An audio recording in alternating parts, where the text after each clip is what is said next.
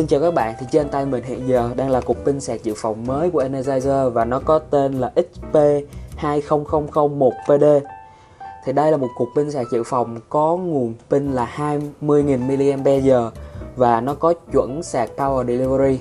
Bây giờ thì mình sẽ giới thiệu lần lượt cho các bạn nó có gì đặc biệt?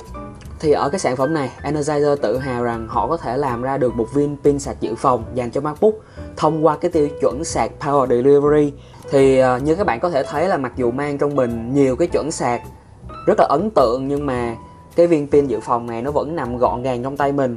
Thì thực chất cầm lên mình cảm giác là khá là đầm tay.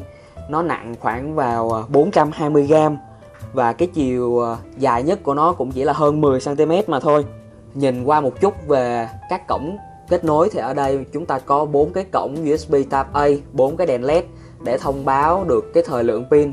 Cái đèn này cũng khá là sáng mà ở đây mình đang thấy còn thời lượng pin là 50%, một cái nút nguồn. Ở phía ngược lại thì chúng ta có các tiêu chuẩn sạc đầu ra và đầu vào 20V 2A này là cái chuẩn sạc ra cho MacBook đây. Ở đây là cổng sạc micro USB in dùng để sạc cho cái cục pin này chúng ta có chữ Energizer, logo của hãng. Bên này là một cổng sạc Type-C cái cổng này là dùng để sạc cho MacBook đây. Thì theo như Energizer công bố cái viên pin này với 4 cái cổng sạc Type A và một cái cổng sạc Type C thì nó có thể hỗ trợ sạc cùng lúc bốn cái điện thoại khác nhau. Hai chiếc máy tính bảng hoặc là một cái smartphone hay là một cái MacBook. Tức là chúng ta có thể sử dụng chuẩn sạc nhanh cho cả năm thiết bị cùng lúc ở trên cái cục sạc này. Bây giờ thì mình sẽ bỏ viên pin sạc này qua một bên và giới thiệu bên trong xem phụ kiện nó gồm có những gì. À, chúng ta sẽ có một cái sắp giấy nho nhỏ là sắp giấy uh, hướng dẫn sử dụng.